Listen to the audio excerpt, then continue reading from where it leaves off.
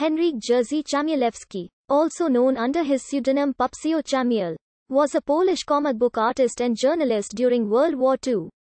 Chmielewski served in the Home Army and took part in the Warsaw Uprising. After the war, he started working as a graphic artist in the Świat Młodych magazine, where he also published comics. Since the debut of his first Titus, Romek I A'Tomek comic book in 1966, he focused his career almost entirely on this series, telling the story of Titus the Zoo, an anthropomorphic, talking chimpanzee who wants to become a human. The last, 31st book of the main series was published in 2008.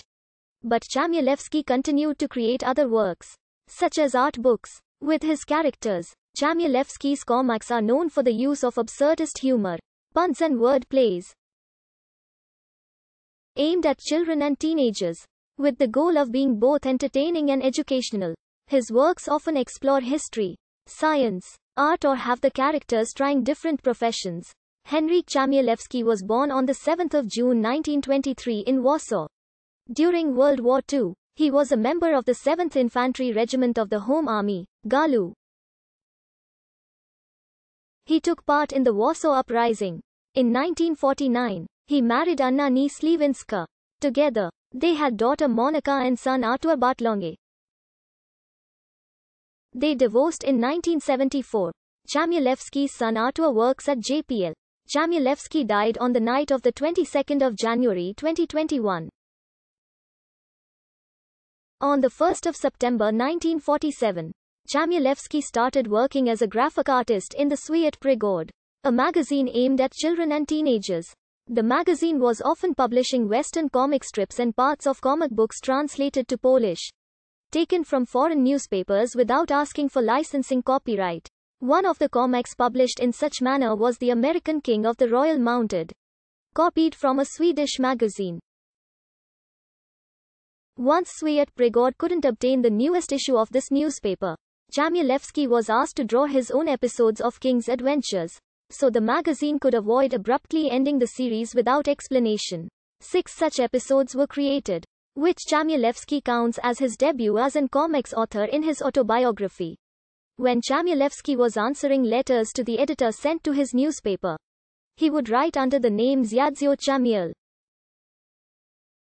Chmielewski believed children would be more willing to write letters to a grandpa than a 25-year-old he really was. In January 1949, Świat Przygód was merged with Na Tropie, a scouting magazine, to form Świat Młodych. At the same time, the magazine ceased publishing comics. Since Poland was a Stalinist socialist country at that time and comics were viewed as an American form of art. Between 1950 and 1956, he studied at the Academy of Fine Arts in Warsaw. After ending his studies in 1956, Chmielewski was thinking about becoming a poster artist, since publishing comics was still not possible.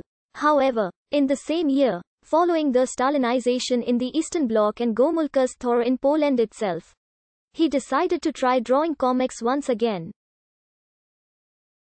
Chmielewski created 10 single-page episodes of Romek I A'Tomek, a black and white comic telling the story of two boys. The title characters, who accidentally fly into space in a rocket while visiting an astronautics exhibition. During the flight, the boys discover a talking space monkey called Titus used for experiments. At that time, the characters' personalities were not yet developed, and the idea of humanizing Titus as the main topic was not yet born. The comic was not published immediately, as the Świat Młodych editor-in-chief was initially skeptical about it, fearing, despite the thaw, that publishing a comic might cause troubles with the main office of control of press, publications and shows. Under the title Titus, Romek I. In 1964, he also launched the club Titusa in Świat Młodych, with humorous articles presented as written by the chimpanzee himself.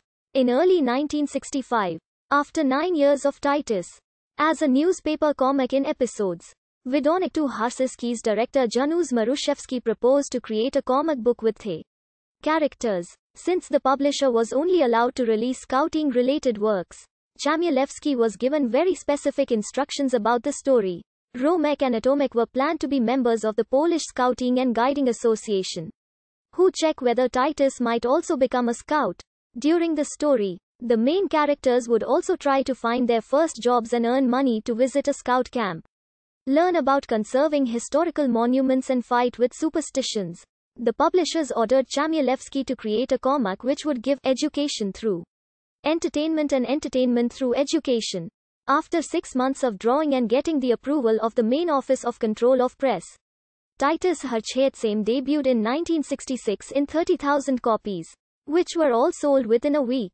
Although the comics were initially not planned to be a series, Chmielewski was asked to create a second BO.